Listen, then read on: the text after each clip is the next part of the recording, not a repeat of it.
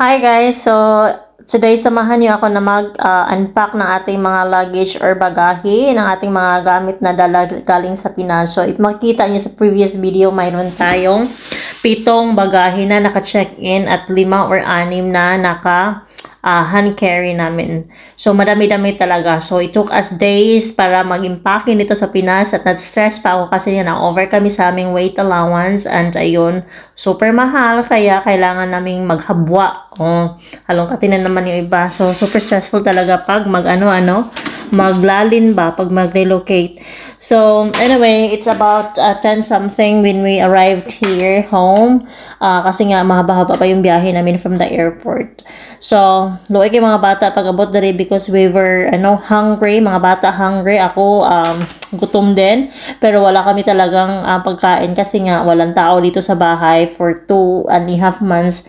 Mahigit ata na nandun si Mr. sa Pinas. So, naka-off lahat.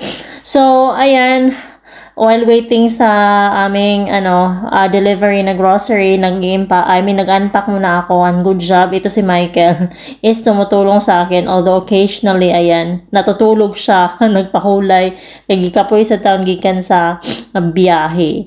So mo siya pitong bagahe. It took me about uh, two days siguro para ma-unpack lahat. Pero inuna ko na lang yung mga gamit sa baba, yung mga, usually talaga, yung laman ng aming mga bagahe is, most of them is household utensils, o, di ba?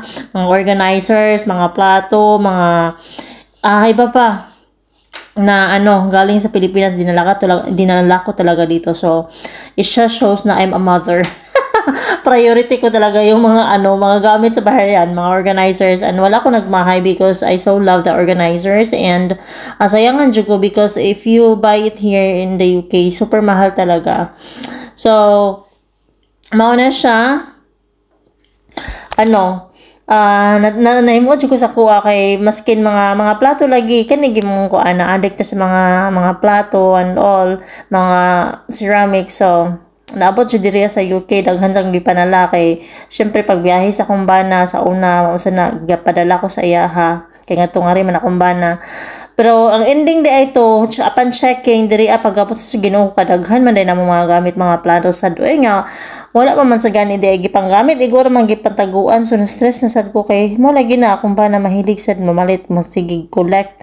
Ug mga gamit ba niya pag matagbo na sa kog declutter ani. Actually sa mga plato nga ganahan jud tada ko nga gipang collect na ako nga dadun diri tada ko sa UK is naibilin gid sa Pilipinas. Kay of course as I've said na over na ang among allowance. So puhon-puhon na sa tunamo dadun diri ah kung makauli sa Pilipinas ano sa pakha no?